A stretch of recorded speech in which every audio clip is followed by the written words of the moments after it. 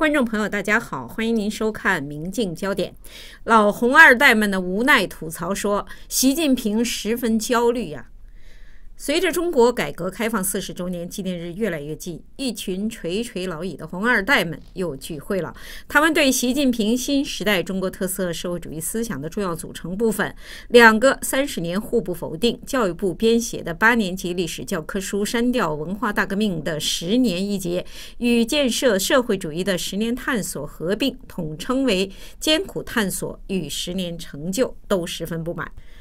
中国资深传媒人吕越在《习近平十分焦虑》一文中说：“这群老红二代，无论老子在文革中是野心家、走资派，还是台上派，都对习近平改变十一届六中全会对文革的定性。”决然不能苟同。对习近平修宪搞终身制、与美国交恶、打贸易战、致国内经济下滑、危机重重，他们也与普通国人一样怨气满腹。在习近平选择性反腐中，家族利益受到冲击的更是骂不绝口。文章提到一个小插曲：十年前，胡耀邦之子、全国政协常委胡德平以胡耀邦史料资讯网的名义，在中国大饭店举行纪念改革开放三十周年学术研讨会。除了邓。邓小平子女顶层的红二代太子党几乎悉数到场。该会耗资三十万，订了四桌酒席，要了四瓶茅台。结果与会的香港丁学良教授品了四瓶，全是假酒。中国大饭店碍于就餐者身份，当即认错，赔偿两瓶两千多元一瓶的真茅台，四瓶赔不起。如此丑闻一时传遍帝都。这群红二代在二零一二年喜迎习近平上台时，把胡锦涛的。十年总结为耽误的十年，抱着定时炸弹击鼓传花。不过六年对习的评价已经低于胡锦涛，习的六年明显是倒退的六年。文章说，如今与经济利益、政治利益无争的红二代讲出一句十分中肯客观的评价：习近平十分焦虑呀。这是他们对这位高高在上、内外交困、进退失据的人民领袖治国理政能力的评价。文章还提到，今年到北戴河休假的红二代还透露，高层无人愿为习近平担责。据悉，三朝元老王沪宁隐身一个月，真实原因是习近平想让他为贸易战开局失利承担责任，但是王沪宁坚决不做检讨，也就是坚决不承担责任。二零一四年二月，中央网络安全与信息化领导小组成立，习是组长，王是成员。今年三月，包括该领导小组在内的四个领导小组改为委员会，习全部担任主任，是意识形态和宣传的最高主管。在网信委，王只是李克强之下的第二副主任，下边没有办公室，办公室主任是习近平福建亲信庄荣文，负责具体工作。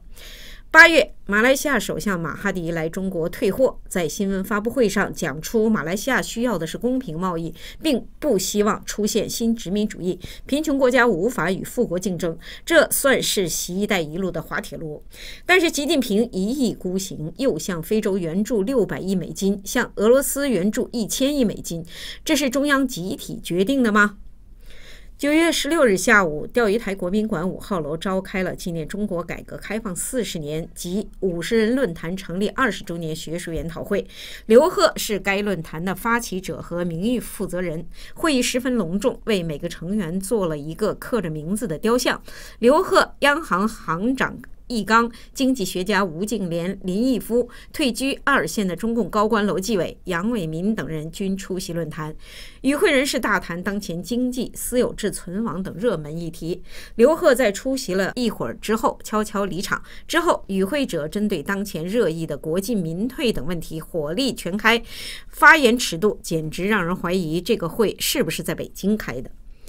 经济学家张曙光用孟母三迁的历史故事影射“一带一路”。他说：“事实上，物以类聚，人以群分，那就要看与谁结友，与谁为伍，与谁同行。这是历史的大道理，而不是小儿的过家家。”四通控股董事长段永基批评当局老把民营企业当忠义救国军，就给番号，既不给粮草，也不给弹药。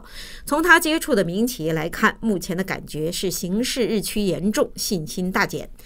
文章说，与会的几十名官学两界头面人物，除了林毅夫和胡鞍钢力挺习近平当前的经济政策，从吴敬琏到楼继伟，都从不同角度严厉批评中国经济政策背离市场化、法治化、劳动力、资本、土地等生产要素配置机制扭曲和不公正。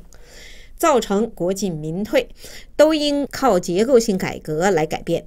但从林毅夫、胡鞍钢的发言可以看到大国战略、强国梦以及“一带一路”发展战略的依据，也可以看到吴小平让私营经济离场之说绝不是空穴来风。以上是例子为您播报，谢谢您的收看。